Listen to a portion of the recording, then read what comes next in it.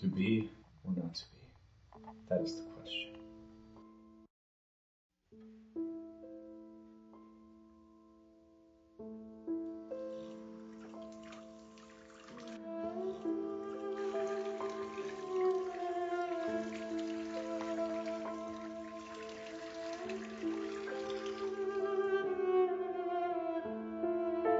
Would it be better in the mind to suffer the darkness and depression of life?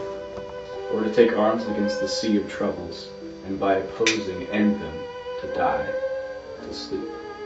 And by sleep to say we end the heartache, and the thousand natural shocks that the flesh is heir to. Tis a consummation devoutly to be wished. To die. To sleep. To die. Like with dreams, that is. For when we die, we are released from this turmoil of life. What will happen? What will we see? How will we feel? Those are the unanswerable questions that makes calamity so long life. For who would bear the whips and the scorns of time, the oppressor's wrong, and the proud man's contumely?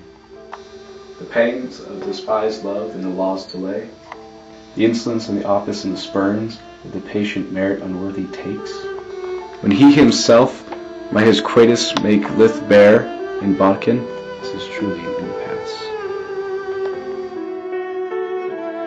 Life would be hard and possibly unbearable. With that, the dread of something after death. That place, where we all begin and all must end, frightens me with its uncertainty. It makes us rather bear those ills than fly to those we know not of. This conscience does make cowards of us all, and thus they need a few of resolution sickled over with the pale cast of thought, and enterprises of great pith and moment.